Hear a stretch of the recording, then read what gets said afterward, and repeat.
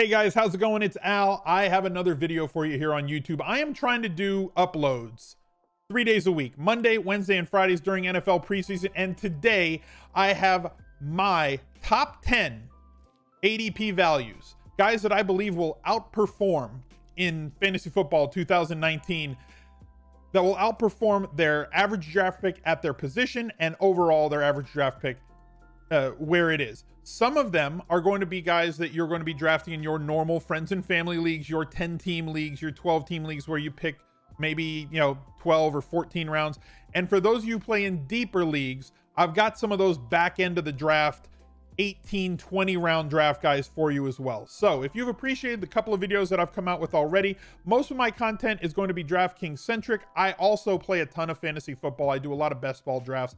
Uh, I play a lot of fantasy leagues.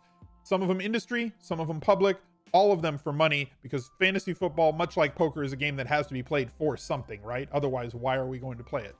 So if you have ingested those other videos, you do like that content, you want to see more content just like this one or the DraftKings content that I put out, please drop a like, subscribe to the channel, and if you would be so kind, I would greatly appreciate it as I try to build my platform over on Instagram right down below. The pinned uh, comment down below is from me with a link to my Instagram page. If you really like this content, please give me those two clicks. That's all it takes is two clicks to click on that link and follow me over there on Instagram too. I would greatly appreciate it. So why don't we get right to this? There's 10 guys that I got. I've got somebody from every position, at least one player from every position. I've got quarterbacks, running backs, wide receivers, uh, and a couple of tight ends for you. Typically, when it comes to quarterbacks, I'm a wait on quarterback sort of guy. Okay. I don't want to spend, I don't want to spend a third round draft pick on a quarterback. I don't want to spend a fifth round draft pick on a quarterback. There's much greater equity to be spent on running backs and wide receivers in those rounds. And we've we've talked about this. Uh, other super sharp guys in the fantasy football content community have gone on ad nauseum with research showing why you should wait on quarterbacks, why you can just stream quarterbacks until you find one that you can start every week. But there are definitely some values at the position that have massive upside. I'm going to be using a couple of sites for today's video. Uh, one of them is Fantasy Football Calculator. They deal mostly with ADPs based on mock drafts. Uh, and then Fantasy Pros uh, has some actual ADPs from leagues that are played for money. So we're going to be looking at them and how these players are trending and where you can get them moving forward. As you see at the quarterback position, Patrick Mahomes, number one. Uh, here's their draft at the position, right? The QB1, QB2, QB3. This is their overall average draft pick across uh, a few sites that do money leagues. So Mahomes at 25, Luck at 59 overall, the QB2, Deshaun Watson, I kind of think that he needs to be considered up in here. Uh, if you can get him in the seventh round, fine. But typically speaking, I'm waiting on quarterback. And Cam Newton is right now being drafted as the QB 10 overall. Cam Newton at QB 10, considering that pretty much every one of his seasons over the last six to eight years, he's been the QB1, the QB4, the QB2, the QB5, the QB3, the QB2, peppered with top five finishes at the position, but being drafted as the QB 10 mostly because of the shoulder injury that he had last season that really limited his effectiveness and his efficiency, efficiency being the number one thing uh, that translates to quarterback success, not necessarily volume. Uh, you don't need 60 throws a game, you just need two plus touchdowns a game. Uh, obviously, if they're throwing a lot of touchdowns and being efficient and they have more attempts, then that's going to equal great success. But what we're looking for is efficiency. And Cam Newton's floor, because of his rushing totals, because of his uh, activity around the goal line, even with somebody like Christian McCaffrey having the season that he had last year. And when you couple that with the other talent that they've added to this team in the last couple of off seasons, with McCaffrey, with DJ Moore, with Curtis Samuel, all three guys becoming veterans now, really getting into their the meat of their NFL careers and into their prime is going to help somebody like Cam Newton reclaim what he was before. His arm looks fine in camp. His shoulder looks fine in camp. He is delivering the ball the way he always has. So the fact that he's being drafted as a QB 10, and we can take a little bit of a look at where he's been trending. He's been pretty steady there, right? He's been pretty steady. ADP of around 92. Uh, I've noticed recently that he's been going around the ninth or 10th rounds in most drafts. I'll take a third round running back or a third round wide receiver over Patrick Mahomes and wait till the 10th round when the running backs are, you're drafting the running back 40, when you're drafting the wide receiver 55. And I'll take a guy that's the QB 10 in that round. Now, he was going at a value a little bit earlier. A lot of people don't draft as early as I do uh, or do the volume of drafts that I do. So I was getting him as, from the 11th and 12th rounds before. His ADP has come up to the 9th and 10th rounds as everybody's starting to realize that Cam Newton is one of the best values on the board. He still remains that, uh, at least to me. Another quarterback that I really, really like a lot this year Carson Wentz. Obviously, I think that he's tremendous. Uh, you do have to pay a little bit more draft equity to get him. Uh, Kyler Murray, he's not going this low. As you can see uh, in, in drafts on draft.com, he's like the seventh overall QB. If you can draft Kyler Murray as a 13, fine. I don't think he's going to be there in your friends and family or in your money league uh, as a QB2. I don't think he is a QB2 to start. I don't think he's going to be drafted as a QB2, especially as August moves on. Uh, but if he's there and, and, there's 12 quarterbacks already taken, then get him, but he's not going to be. Jameis Winston, going to be great. All the way down here at QB 18, Lamar Jackson. He isn't going to carry the ball as much as he carried it last year, right? You're not going to get 17 carries a game out of your quarterback. It's just not going to happen. But he doesn't have to carry it 17 times a game to have a tremendous floor. If he carries it 12 times a game, which is what they were kind of intimating that he was going to do this year, they wanted him to not carry it 17, 18 times a game. They wanted him to come down and carry it somewhere around 12 times a game. The season record for quarterback carries is 139 by Cam Newton. 12 carries a game over 16 games equates to 200 carries on a season. That's low end RB1 type stuff. If you get 200 carries and and 80 targets out of a, a running back, you're going to be ecstatic. You get 200 carries out of a quarterback, you're going to have a really high floor on a week to week basis. If his throwing ability has become a little bit more efficient in his year two, now with an entire offseason as the QB1 in that Ravens system, with a playbook that is now tailored to him instead of trying to come up with it on the run in week nine or 10 or whenever they uh, shifted from Joe Flacco to him when they went from one of the most pass heavy offenses in the league to the most run heavy offense in the league. Now they have an entire offseason to put in the package that they want for him. I don't think, like some people, that he has QB1, QB2, QB3 upside. I mean, overall, right? But I do think he has QB1 upside being top 12 at the position. And he's being drafted as the QB 18 every single player that I talk about, I could talk about with the caveat of, well, if he stays healthy, right? It's very easy to talk about any quarterback if he stays healthy. But you can say that for everybody. Tom Brady got injured in week one one year. You're never worried about Tom Brady. Lamar Jackson, the way he runs the ball gives him a tremendous floor.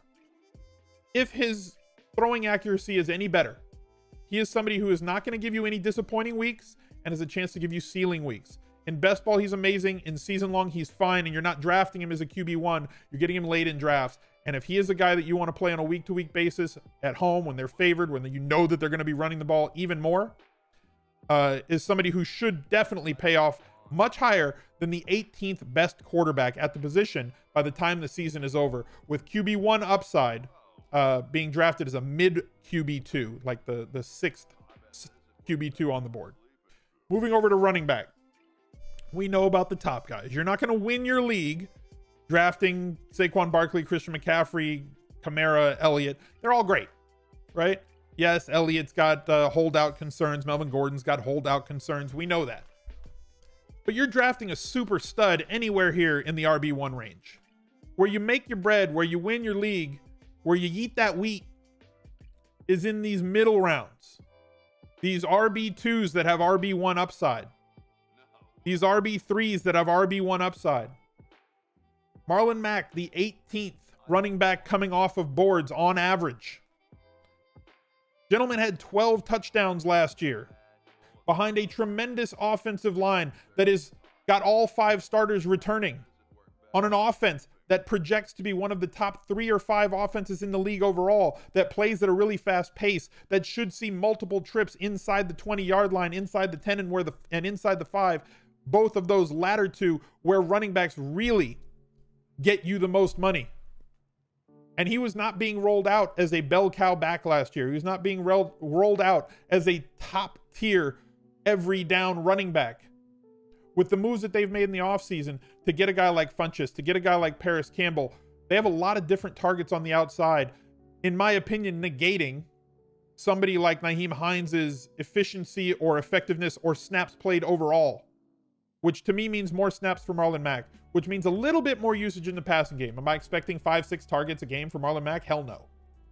But more than one, if he gets between two and three targets a week every single week, and included with the goal line work and included with 17 carries a game, you're looking at a guy that's got a massive upside here. To go out on a limb, I think he could lead the league in touchdowns at the running back position. There is a definite chance that somebody like Marlon Mack could have 15 to 18 touchdowns this year, playing that offense behind that line uh, for the Colts. He had 12 last year in not not a bell cow job. But now he's got that being drafted as the 18th overall running back. I think he's got uh, RB1 upside at the position. And I think he has a possibility to finish the year as a top five running back overall. But being drafted as the 18th, you can get him in the third round. He's somebody I think is going to outpace ADP. Then it comes into the rookies. Josh Jacobs, I think, is priced accurately uh, as the 20th pick. I think that David Montgomery is going to move up a lot especially off of his first performance uh, in preseason last night, where he looked exceptional for the Bears. Again, a good offense, good offensive line, wants to run the ball. Played from ahead a lot last year. That may not be sticky for this year. That may not be something that happens. I think he's priced appropriately, going a uh, ADP around the 49th overall pick. The guy I think has the best chance for upside here to to really exceed value in terms of where he's being drafted his position is Miles Sanders. Miles Sanders right now has been the best back that the Eagles have seen in their camp. If you listen to the reports from the beat writers that have been watching every single practice, Philly is another offense much like the Colts that will be one of the top three or five offenses in the league that will be making multiple trips inside the 10 and inside the five yard line on a game to game basis. And if Miles Sanders takes over, and by takes over, I mean gets about 60 or 70% of the running back snaps and running back touches for the Philadelphia Eagles. You're looking at a back with his explosiveness, with his pass catching ability, with his game breaking ability that has a chance to be a top 15 or 16 back at the position in an RBBC type role where he is the getting the lion's share uh, of the work for his team. It may take a few weeks for him to get that. It may not be a week one job, as good as he looks in preseason. I don't have any reports right now on how he looks in pass pro. I don't have any looks right now on uh, how many snaps is he playing with the first team with Carson Wentz on the field. But damn, this kid looks electric, and damn, he looks good. And that offense and that offensive line are tremendous. And if Wentz has the possible upside of being the league MVP, and Miles Sanders plays 60 to 70% of the snaps at running back for the Philadelphia Eagles, 33, the 33rd running back off the board is just too cheap to ignore. One more guy that I think is uh, going to plow up boards as well, right here, Royce Freeman. Everybody looks at Phillip Lindsay as the guy who was the Denver Broncos leading running back last year, and he was. He also was one of the league leaders at the position in yards before contact. Okay. Nobody touched him until he got a few yards past the line of scrimmage. And somebody with his explosiveness uh, and, and agility and, and wiggle and shake, he broke a lot of long runs. He also, Phillip Lindsay, was one of the running backs in the league that was lowest in terms of yards after first contact, which means nobody touched him, but when they touched him, he went down. Royce Freeman's a harder runner. He is capable enough in the passing game, though I don't expect him to be anywhere near one of the top tier PPR backs on the season, but he can catch it and will catch some balls. But he's going to get the goal line work. They brought in Theo Riddick, which is going to take away a little bit from the pass work that Phillip Lindsay seemed to have the share of. And I think that Royce Freeman's going to lead the Denver Broncos in carries this year. And as the 38th running back off the board, going in the ninth round of drafts, eighth or ninth round in drafts, I think that he is a uh, a tremendous late round pick if you're going zero RB with a chance to exceed his expectations and his draft cost to possibly be by the end of the year an RB2. Maybe end the year is the 20th or 21st best running back on the season, and you're paying a price of the 38th running back coming off the board. Behind guys like Darrell Henderson, who people are hoping gets 25 or 30% of the carries for the Rams. Latavius Murray, who is backing up and getting the maybe the Mark Ingram role for the Saints. Jordan Howard, who may lose his job to one Miles Sanders, Rashaad Penny, who looks like the backup right now, even if it's in a full RBBC role where he gets 40% of the carries for Seattle, Royce Freeman should get the bulk of the carries for the Denver Broncos. And at 38th overall at the position, I believe that is just too cheap. Giving you a few uh, wide receivers that I like. I'm going to start with one that's a little bit higher uh, on the board. Obviously, we've got Robbie Anderson, who's somebody that I really like. I'm a little bit high on the Jets offense. I understand that. I understand that not everybody's on board with that. The coach is kind of a freako nut job. Took smelling salts before the before the preseason game last night. But Robbie Anderson coming off boards right now is the 30th running back over or sorry, 30th wide receiver overall and the 69th pick uh on average seems nice but not that nice. This is a guy who looks great. You got a quarterback coming into his second year, which is where most young quarterbacks make a bit of a leap. He's got a full offseason uh, with this offense, does Sam Darnold. Looked tremendous on that first drive last night. Robbie Anderson, the most explosive wide receiver of that group, with Quincy Enunwa and Jamison Crowder manning the slot. Crowder is somebody that I have a ton of shares of and I like a lot. I also think he's going too late uh, in drafts, more of a PPR monster than somebody who could score a lot of touchdowns. But Robbie Anderson is somebody who can do it for you and break a week. He can win a week for you. Whether it's best ball or whether it's your uh, at home fantasy league, whether it's a transactional league, here's somebody who can definitely break leagues for you, break a week for you, get you W's in your head to head leagues. Uh, his ADP has not risen all that much over the last month. Been pretty steady. I still think you're getting him at a value. I think this Jets offense is going to be greatly improved. I think having Le'Veon Bell is going to turn them into something where you can't just focus on Robbie Anderson.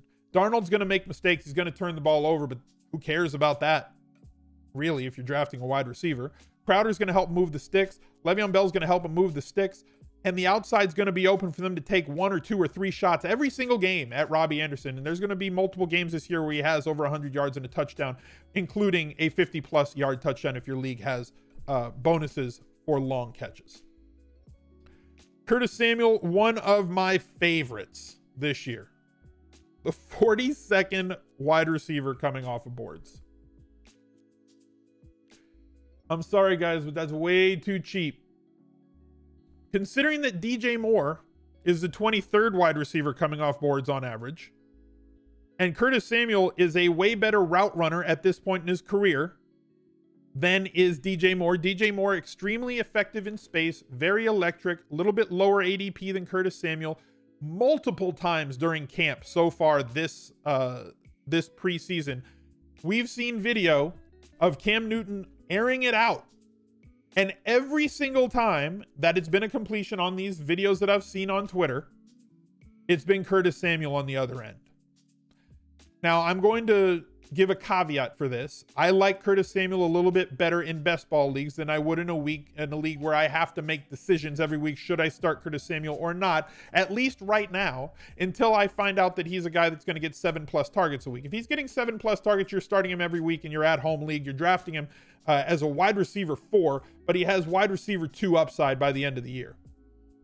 You're drafting him as a bench player or as a flex, but I believe that by the end of the year, he's a starter. In best ball, I don't have to pick which weeks he starts. When he has that big week or gets that long bomb, he's probably just going to end up in the starting lineup anyway, unless I have four better performances by wide receivers. But Curtis Samuel uh, definitely has the ability, definitely has the speed, has a quarterback that's being underrated, and that offense being underrated. ADP has jumped recently from 122 to 110, so he's moved up a full round on ADP. I was grabbing him in the ninth round about a month ago, pretty consistently. He's going in the early to late seventh rounds now. So if you want him, that's where you're going to have to go get him. But he's still at a value and could outperform that ADP, both at the position and in the draft. Somebody that I'm really targeting this year. The last one is more of a late round guy. Coming off of boards around this area, the 58th wide receiver being taken, 161 overall. If your draft goes that deep, John Brown is a guy that I want. Going to Buffalo and leaving Baltimore, where they weren't taking shots downfield. He goes from a team that was extremely run heavy the second half of the season to a team that was also somewhat run heavy, but takes shots downfield where Lamar Jackson was not taking those shots.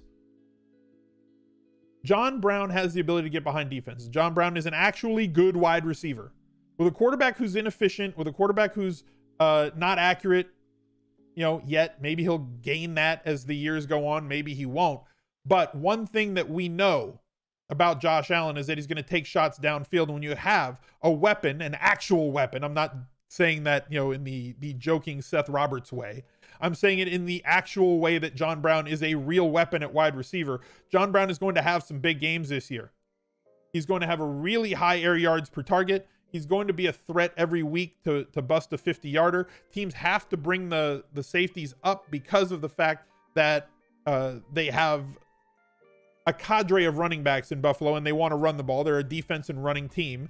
And they have a quarterback that you must spy on and contain, which means that linebackers and safeties feet are going to be held just for that one beat, which allows John Brown to get behind the cornerback in single coverage, which will allow for some massive games this year for John Brown. And I definitely know, I don't think, I know that John Brown will outperform this 58th wide receiver taken at the position. If you play best ball, he's going in the 12th to 15th rounds. He's a must buy for me at that price.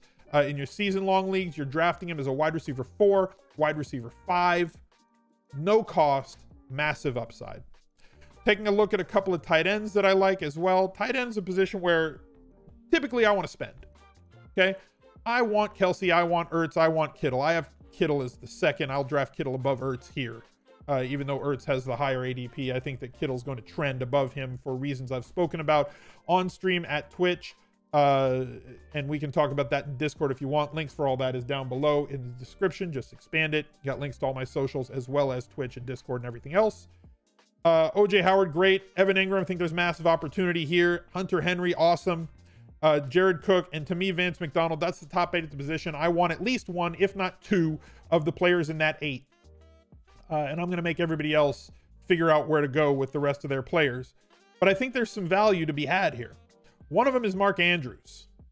Okay. Kyle Rudolph, not really thrilled with his week to week, not really thrilled with his upside. Delanie Walker, he's a he's a warrior. He gets in there and battles. Trey Burton did not see the volume. This is a position. Once you get to like Njoku, Hooper, Burton, Walker, you're just hoping guys like this get into the end zone.